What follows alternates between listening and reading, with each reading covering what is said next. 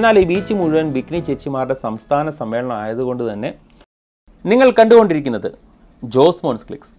നമ്മുടെ കപ്പൽ സീഷൽസിലെ port of Victoria എന്ന തുറമുഖത്ത് വന്ന കാഴ്ചയൊക്കെ നിങ്ങൾക്ക് ഇഷ്ടപ്പെട്ടെന്ന് വിശ്വസിക്കുന്നു. നമ്മൾ കപ്പൽ വന്ന ഉടനെ തന്നെ നമുക്ക് പുറത്തുനിന്നുള്ള പണിക്കാർ അതായത് സ്റ്റീവ്ഡോർസ് കപ്പലിൽ വന്ന് കയറിയിട്ടുണ്ട്.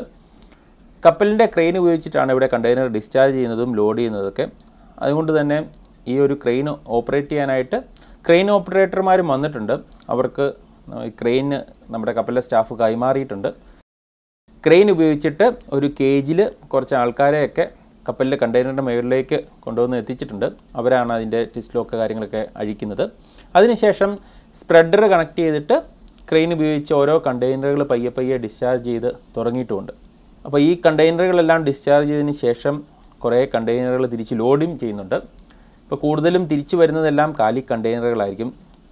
അതോടൊപ്പം തന്നെ ഞാൻ കഴിഞ്ഞ വീഡിയോയിൽ പറഞ്ഞതുപോലെ ഈ രാജ്യത്ത് നിന്ന് മെയിനായിട്ട് ചൂര മീനുകളൊക്കെ എക്സ്പോർട്ട് ആകാറുണ്ട്.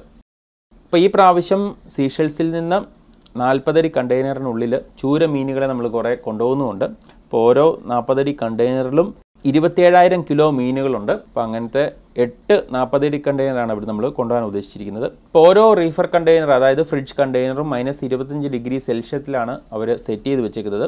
അപ്പോൾ ആ ഒരു ടെമ്പറേച്ചർ മെയിന്റെയിൻ ചെയ്ത് പോയില്ലെങ്കിൽ മീനൊക്കെ നശിച്ചു പോകും അപ്പോൾ നമുക്ക് ഈ ഒരു രാജ്യത്തിന്റെ മനോഹാരിതയൊക്കെ ആസ്വദിക്കാനായിട്ട് പയ്യെ ഉച്ചയോടെ നമ്മൾ പുറത്തേക്ക് ഇറങ്ങി. ഇന്ത്യൻ മഹാസമുദ്രത്തിൽ നൂറ്റി പതിനഞ്ച് ദ്വീപുകളുടെ സമൂഹമാണ് ഈ സീഷൽസ് ആഫ്രിക്കൻ വൻകരയിൽ നിന്ന് ആയിരത്തി അറുന്നൂറ് കിലോമീറ്ററോളം മാറിയാണ് ഈ ഒരു രാജ്യം സ്ഥിതി ചെയ്യുന്നത്. അങ്ങനെ പയ്യെ നമ്മൾ പുറത്തേക്ക് പോവുകയാണ്. അവിടെയൊക്കെ ചെന്തങ്ങൊക്കെ കൊലച്ച് നിപ്പുണ്ട്. അപ്പോൾ ആ കാഴ്ചകളെല്ലാം കണ്ട് മുന്നോട്ട് പോയി. സാധാരണഗതിയിൽ ഒരു രാജ്യത്ത് പുറത്തിറങ്ങണമെങ്കിൽ അവിടുത്തെ ഇമിഗ്രേഷനിൽ നിന്നുള്ള ഷോർ പാസ് ഒക്കെ ആവശ്യമുണ്ട്. എന്നാൽ ഇവിടെ ഞങ്ങളുടെ പാസ്പോർട്ടിന്റെ കോപ്പി മാത്രം കാണിച്ചാൽ മതിയായിരുന്നു. തൊട്ടടുത്തുള്ളൊരു സൂപ്പർ മാർക്കറ്റ് കണ്ടു. അതിന്റെ മുന്നിലായിട്ട് നമ്മുടെ നാട്ടിലെ സ്വിഫ്റ്റും ഐറ്റനും അങ്ങനെ മിക്ക വണ്ടികളും കാണാൻ സാധിച്ചു. അങ്ങനെ കുറച്ച് മുന്നോട്ട് നീങ്ങിയപ്പോൾ കുറേ കുഞ്ഞു ബോട്ടുകളൊക്കെ അവിടെ ഇവിടെയൊക്കെ ആയിട്ട് കെട്ടി വെച്ചിട്ടുണ്ട് നമ്മുടെ ഇന്ത്യൻ പതാകയൊക്കെ ആയിട്ടൊരു ബിൽഡിംഗ് കണ്ടു. അത് അവിടുത്തെ ഇന്ത്യൻ എംബസി ആണെന്ന് തോന്നുന്നു. ഇപ്പോൾ ഈ കാണുന്ന ഈ സംഭവം വിക്ടോറിയ ടൗണിന്റെ ഇരുന്നൂറാം വാർഷികത്തോടനുബന്ധിച്ച് ആയിരത്തി തൊള്ളായിരത്തി എഴുപത്തൊമ്പതിൽ സ്ഥാപിച്ചതാണ്. പണ്ട് ബ്രിട്ടീഷുകാരാണ് സീഷൽസ് ഒക്കെ ഭരിച്ചിരുന്നത്. ആ ഒരു സമയത്തിന്റെ ഓർമ്മയ്ക്ക് വേണ്ടിയുള്ള ഒരു മ്യൂസിയമാണ് നമ്മൾ ഈ കാണുന്നത്. ആയിരത്തി തൊള്ളായിരത്തി എഴുപത്തി ആറിലാണ് ഈ ഒരു സീഷൽസ് എന്ന രാജ്യത്തിന് സ്വാതന്ത്ര്യം കിട്ടിയത്. അപ്പോൾ ആയിരത്തി തൊള്ളായിരത്തിലാണ് ഈ ഒരു ബിൽഡിംഗ് ഒക്കെ അവിടെ സ്ഥാപിച്ചത്. അങ്ങനെ മുന്നോട്ട് നീങ്ങിയപ്പോൾ നമ്മുടെ നാട്ടിലെ സ്പ്ലെൻഡർ പ്ലസ് ഒക്കെ അതിലൂടെ പോകുന്നത് കൊണ്ടു. അപ്പോൾ ശനിയാഴ്ച ഉച്ച വരെയേ ഉള്ളൂ അവിടെ കടകളൊക്കെ ഉള്ളൂ. അപ്പോൾ അത്യാവശ്യം നല്ല തിരക്കും കാണാൻ സാധിച്ചു. ഈ ഒരു ക്ലോക്ക് ടവർ ആയിരത്തി തൊള്ളായിരത്തി മൂന്നിലെങ്ങാണ്ട് വിക്ടോറിയ രാജ്ഞിയുടെ ഓർമ്മയ്ക്കായിട്ട് ലണ്ടനിൽ നിന്ന് അവർ കൊണ്ടുവന്ന് വെച്ചേക്കുന്നതാണ്. കാസ്റ്റേൺ വെച്ചിട്ടാണ് അത് നിർമ്മിച്ചിരിക്കുന്നത്. അപ്പം അങ്ങനത്തെ കാഴ്ചകളെല്ലാം കണ്ട് പയ്യെ മുന്നോട്ട് നടന്നു. ഐ ലവ് സിഷൽസ് എന്നൊക്കെ പറഞ്ഞ് അവിടെ എഴുതി വെച്ചിട്ടുണ്ട്. അപ്പോൾ അതിന്റെ മുന്നിലും കുറച്ച് ഫോട്ടോസൊക്കെ എടുത്തു. ഇവിടുത്തെ ടൂറിസ്റ്റുകളെ ആകർഷിക്കാനായിട്ട് സുവനീർ ഷോപ്പുകളും നമുക്ക് അവിടെ കാണാൻ സാധിച്ചു. ഇപ്പോൾ ഈ കാണുന്ന ആ ഒരു സംഭവം കണ്ട് തെറ്റിദ്ധരിക്കേണ്ട. ഇത് ലോകത്തിലെ ഏറ്റവും വലിപ്പമുള്ള വിത്ത് എന്നതിന് ഗിന്നസ് ബുക്കിൽ പേര് കിട്ടിയ കൊക്കോ ഡീമർ എന്ന ഒരു വിത്താണ്. മെയിനായിട്ട് സീഷൽസിലാണ് ഈ സംഭവം കണ്ടുവരുന്നത്. അപ്പം അറുപത് വർഷം പ്രായമുള്ള പന പോലുള്ള മരത്തിലാണ് ഈ സംഭവം പൂത്ത് ഉണ്ടാകുന്നത്. പൂ പിടിച്ചതിന് ശേഷം ഏകദേശം പത്ത് വർഷം സമയമെടുക്കും ഇതൊന്ന് കായായി സെറ്റായി വരാൻ. ഇതിന്റെ തൊണ്ടും ചകിരിയൊക്കെ നീക്കം ചെയ്ത ആ ഒരു വിത്തിന് രണ്ട് കിലോയോളം ഭാരവും ഉണ്ട് അപ്പോൾ അതുകൊണ്ട് തന്നെ ഈ ഒരു സംഭവത്തിന് നല്ല വിലയുമുണ്ട്. അപ്പോൾ ഈ കാണുന്ന വിത്തിന് അവർ നാൽപ്പത്തി നാലായിരം ഇന്ത്യൻ രൂപയാണ് ചോദിച്ചത്. അപ്പോൾ അതൊക്കെ കണ്ട് പയ്യെ അവിടുന്ന് സ്കൂട്ടായി. തൊട്ടടുത്ത് തന്നെ ഒരു മുസ്ലിം പള്ളി കണ്ടു. അതോട് ചേർന്ന് തന്നെ മറ്റൊരു ക്രിസ്ത്യൻ പള്ളിയും കണ്ടു. അപ്പോൾ അവിടെ പോയി കുറച്ച് നേരം പ്രാർത്ഥിച്ച് അവിടെ ഒരു ഗായക സംഘം എന്തോ പാട്ട് കാര്യങ്ങളൊക്കെ പ്രാക്ടീസ് ചെയ്തുകൊണ്ടിരിക്കുമായിരുന്നു അതിനുശേഷം അവിടുത്തെ ചെറിയൊരു മാർക്കറ്റിൽ കൂടെ നടന്നു നീങ്ങി. ശനിയാഴ്ച ആയതുകൊണ്ട് മിക്ക കടകളും അടവാണ്. തമിഴ്നാട്ടിൽ നിന്നുള്ള ഒത്തിരി പേർ അവിടെ സെറ്റിൽ ആയതുകൊണ്ട് തന്നെ മിക്ക കടകളുടെയും പേര് നമുക്ക് തമിഴ് മയമുള്ളതായിട്ട് നമുക്ക് കാണാൻ സാധിക്കും. സീഷൽസ് ഹിന്ദു കോവിൽ സംഘം എന്ന പേരിൽ ഒരു അമ്പലവും അവിടെ കാണാൻ സാധിച്ചു. അങ്ങനെ നടന്നു നീങ്ങിയപ്പോൾ തെരുവിൽ കുറച്ച് ഉണക്കമീനും അതുപോലെ തന്നെ അലങ്കാര മത്സ്യങ്ങളൊക്കെ വിറ്റുകൊണ്ട് രണ്ട് മൂന്ന് ചേട്ടന്മാരെയും കണ്ടു. അങ്ങനെ മറ്റൊരു പള്ളിയും കണ്ട് അതിന്റെ മുന്നിലും കുറച്ച് നേരം ചിലവഴിച്ചതിന് ശേഷം ഉച്ചയ്ക്ക് കഴിക്കാനായിട്ട് ഒരു കടയിൽ കയറി. അപ്പോൾ നമ്മുടെ കെ എഫ് സി ചേട്ടന്റെ അനിയന്റെ കടയാണെന്ന് നല്ല സംശയമുണ്ട്. അതേ ചിരിയുള്ള ഫോട്ടോസ് അവിടെ കാണാൻ സാധിച്ചു. ഇപ്പോൾ കൂടെയുള്ള ഒരു നോർത്ത് ഇന്ത്യൻ സായം കൊണ്ട് ബീഫ് ഒഴിവാക്കി ചിക്കൻ ഐറ്റംസ് തിരഞ്ഞെടുത്തു. ചോക്ലേറ്റ് ഷേക്കും ചിക്കൻ ഷവർമയാണ് നമ്മൾ കഴിച്ചത്. അങ്ങനെ ഉച്ച വിശപ്പിന് ചെറിയൊരു ആശ്വാസം കിട്ടി. അവിടെ നമ്മുടെ കാർഡൊക്കെ ഉപയോഗിച്ച് പേയ്മെന്റ് ഒക്കെ നടത്താൻ സാധിച്ചു. അടുത്തതായിട്ട് ഞങ്ങൾക്ക് പോകാൻ ഉദ്ദേശിച്ചത് ഒരു ബേബാലൻ ബീച്ചിലാട്ടാണ് ഇപ്പോൾ ജൂലൈ ഒന്ന് മുതൽ ബസ്സിൽ കയറണമെങ്കിൽ അവിടുത്തെ ബസ്സിന്റെ കാർഡ് ആവശ്യമുണ്ട്. ബസ്സിന്റെ കാർഡ് വാങ്ങാനായിട്ട് ലോക്കൽ കറൻസി ആവശ്യമുണ്ട്. നമ്മുടെ എ ടി എം കാർഡൊന്നും വർക്കായില്ല അതുകൊണ്ട് തന്നെ തിരിച്ച് കപ്പലിലേക്ക് മടങ്ങാൻ തീരുമാനിച്ചു ഞാനങ്ങനെ ചെയ്യാൻ ചെയ്തിരുന്നു കാർഡ് എടുക്കാൻ നോക്കിയിട്ട് പറ്റുന്നില്ലല്ലോ ഞാൻ അവിടെ രണ്ടു കാർഡ് ട്രൈ ചെയ്തായിരുന്നേ അതൊന്നും പറ്റാഞ്ഞിട്ടേ ഇപ്പൊ ഇവിടെ ബസ്സിൽ പോകണമെങ്കിൽ കാർഡിന്റെ ആവശ്യമുണ്ട്. നമ്മളിങ്ങനെ കാർഡൊക്കെ പൈസയൊക്കെ ശരിയാകാതെ ഇങ്ങനെ നോക്കി വിഷമിച്ചിരുന്നപ്പോഴത്തേക്കും നമ്മുടെ നമ്മുടെ വീഡിയോ കാണുന്ന ദിനീഷ് ബസ് നിർത്തി നമ്മളെ കയറ്റി രണ്ട് കാർഡൊക്കെ തന്നിട്ടുണ്ട്. അപ്പൊ ഇത് വെച്ചിട്ട് നമുക്ക് അടുത്ത യാത്ര പോവാം. എന്നാലും വളരെ സന്തോഷം. കൊല്ലം മോച്ചിറക്കാരൻ നിതീഷ് വന്ന് ബസ്സിൽ കയറ്റി രണ്ട് കാർഡ് സൗജന്യമായി തന്നു. പുള്ളിയാണെങ്കിൽ ജോലി കഴിഞ്ഞിട്ട് റൂമിലേക്ക് മടങ്ങുകയായിരുന്നു. അപ്പം നമുക്ക് പോകാൻ ഉദ്ദേശിച്ച ബീച്ചിലോട്ടുള്ള ബസ് കിട്ടി. നമുക്ക് ബീച്ചിൽ പോയി മടങ്ങി വരാനുള്ള പൈസ ആ കാർഡിലുണ്ട്. അപ്പോൾ ആ കാർഡ് നമ്മൾ സ്വൈപ്പ് ചെയ്തു. അതിന്റെ രസീത് ഡ്രൈവർ നമുക്ക് കൈമാറി.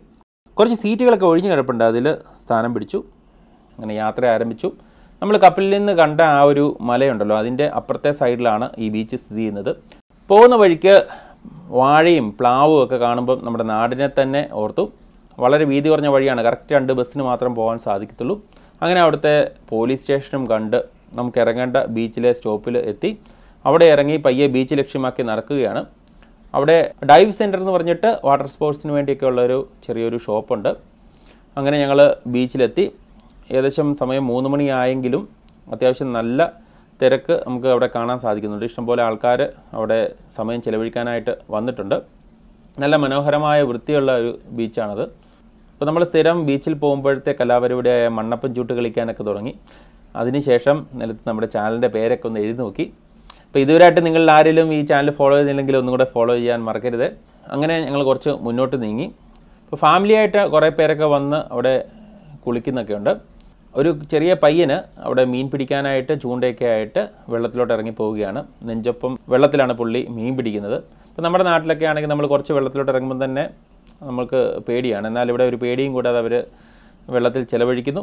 അപ്പോൾ ബീച്ചിന്റെ ഒരു സൈഡിൽ ഒരു റെസ്റ്റോറന്റിൽ നല്ല സംഗീതത്തിന്റെ അകമ്പടിയോടുകൂടി സായിപ്പും മദാമയൊക്കെ ഡ്രിങ്ക്സ് അടിച്ചുകൊണ്ട് ഇരിപ്പുണ്ട് അങ്ങനെ ഞങ്ങൾ കുറച്ചും കൂടെ മുന്നോട്ട് നീങ്ങി. ഇപ്പോൾ ബീച്ചിൽ അങ്ങേറ്റത്ത് അത്യാവശ്യം നല്ല രീതിയിൽ കല്ലുകളൊക്കെ ഉണ്ട്. അപ്പോൾ അതിന്റെ മുകളിലൊക്കെ ഇരുന്ന് കുറേ ഫോട്ടോസും വീഡിയോസൊക്കെ എടുക്കാം. എന്നാൽ ഈ ബീച്ച് മുഴുവൻ ബിക്നി ചേച്ചിമാരുടെ സംസ്ഥാന സമ്മേളനം ആയതുകൊണ്ട് തന്നെ അവരെ ഒഴിവാക്കി വീഡിയോസും ഫോട്ടോസൊക്കെ എടുക്കാൻ കുറച്ച് കഷ്ടപ്പെട്ടു. ബീച്ചിൽ ഫുൾ ജീൻസും ടീഷർട്ടും ഷൂസൊക്കെ ഇട്ട് എന്തിനാടാ വന്നതെന്നുള്ള പുച്ഛഭാവത്തോടെ ഞങ്ങളെ അവർ നോക്കി ചിരിക്കുകയും ചെയ്തു. അതൊന്നും വകവെക്കാതെ നമ്മൾ കുറച്ച് ഫോട്ടോസൊക്കെ എടുത്ത് പയ്യെ തിരിച്ച് നടന്ന് നീങ്ങി. ഒരു പയ്യൻ അവിടെ നല്ല രീതിയിൽ പ്രൊഫഷണൽ കൊട്ടാരമൊക്കെ ഉണ്ടാക്കി കളിക്കുന്നുമുണ്ട്. ചെറിയ രീതിയിൽ വാട്ടർ സ്പോർട്സ് കാര്യങ്ങളൊക്കെ അങ്ങേയറ്റത്ത് നടക്കുന്നുമുണ്ട്. അങ്ങനെ ഇരിക്കെ കുറേ ചേട്ടന്മാർ ഒരു ഫിഷിംഗ് ബോട്ട് മീനൊക്കെ പിടിച്ച് കരയിലേക്ക് അടുപ്പിച്ചുകൊണ്ടിരിക്കുകയാണ് അത്യാവശ്യം നല്ല വെയിറ്റ് ഉണ്ട്. അപ്പോൾ എല്ലാവരും കൂടെ ഒത്തൊരുമിച്ച് തള്ളി കയറ്റുകയാണ് അപ്പോൾ അവർ നമ്മുടെ സഹായം ചോദിച്ചു. അപ്പൊ. അപ്പം അങ്ങനെ ഒന്ന് കൈവെക്കാൻ ഞാനും കൂടി. ഇതത്ര എളുപ്പമുള്ള പണിയല്ലെന്നുള്ള കാര്യം മനസ്സിലാക്കി. അവർ ആ വള്ളം കരയിൽ കയറ്റിയതിന് ശേഷം അതിനുള്ളിലെ വലയൊക്കെ നിവർത്തി മീനുകളൊക്കെ പുറത്തെടുക്കാൻ ആരംഭിച്ചു കഴിഞ്ഞിരുന്നു. നമുക്കധികം സമയം ചെലവഴിക്കാനില്ല നമുക്ക് തിരിച്ച് കപ്പലിലേക്ക് പോകണം. അങ്ങനെ നമ്മൾ ബീച്ചിലെ കുറച്ച് സമയം ചെലവഴിച്ചതിന് ശേഷം തിരിച്ച് നമ്മൾ കപ്പലിലോട്ട് പോവുകയാണ്. അങ്ങനെ നമ്മുടെ കാലിലെ മണലൊക്കെ തട്ടിക്കളഞ്ഞ് പയ്യെ ബസ് സ്റ്റോപ്പ് ലക്ഷ്യമാക്കി പോവുകയാണ്. അവിടെ നല്ല രീതിയിൽ ഓൾട്ടർ ചെയ്ത വാഹനങ്ങളൊക്കെ എം വി ഡിയെ പേടിക്കാതെ അതിലൂടെ ഇതിലൂടെയൊക്കെ പാഞ്ഞ് നടക്കുന്നുമുണ്ട്. അങ്ങനെ അരമണിക്കൂർ വെയിറ്റിങ്ങിന് ശേഷം അടുത്ത ബസ് കിട്ടി. അതിൽ തിരിച്ച് നമ്മൾ വന്ന വഴിയെ പോവുകയാണ്. അത്യാവശ്യം നല്ല തിരക്കുള്ള ബസ്സായിരുന്നു. അങ്ങനെ കയറ്റമൊക്കെ കയറി പയ്യെ മലയൊക്കെ ഇറങ്ങി നമ്മൾ കയറിയ ആ ഒരു സ്റ്റോപ്പിലേക്ക് എത്തി. അങ്ങനെ ബസ് ഇറങ്ങി ടാറ്റ ബസ്സിന് ടാറ്റ കൊടുത്ത് നമ്മൾ തിരിച്ച് കപ്പലിലേക്ക് നടന്നുകൊണ്ടിരിക്കുകയാണ്. അങ്ങനെ പോകുന്ന വഴിക്ക് ഒരു ചെറിയൊരു പാർക്കിൽ ഗാന്ധിജിയുടെയും നെൽസൺ മണ്ടേലയുടെയും ആയിരത്തി തൊള്ളായിരത്തി എഴുപത്തി ആറിൽ സ്വാതന്ത്ര്യം കിട്ടിയപ്പോഴത്തെ സീഷൽസിന്റെ ഫസ്റ്റ് പ്രസിഡന്റായ ജെയിംസ് റിച്ചാർഡിന്റെയും പ്രതിമയൊക്കെ കണ്ടു. അങ്ങനെ തിരിച്ച് നമ്മൾ സെക്യൂരിറ്റി ഗേറ്റിൽ പാസ്പോർട്ട് കോപ്പിയൊക്കെ കാണിച്ച് കപ്പലിലെ ലക്ഷ്യമാക്കി പോവുകയാണ്. അപ്പോൾ മറ്റൊരു video കാണുന്നവരേക്കും stay tuned stay safe thank